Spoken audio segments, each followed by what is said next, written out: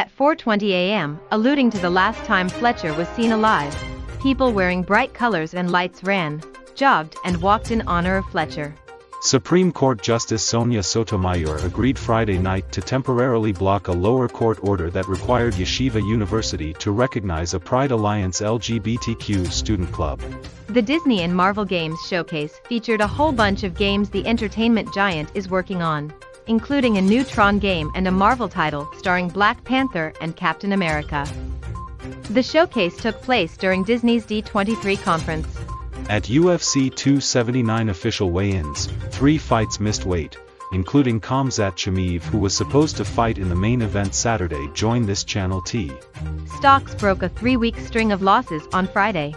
KYIV, Ukraine, AP, Ukrainian forces on Friday claimed new success in their counteroffensive against Russian forces in the country's east, taking control of a sizable village and pushing toward an important transport junction.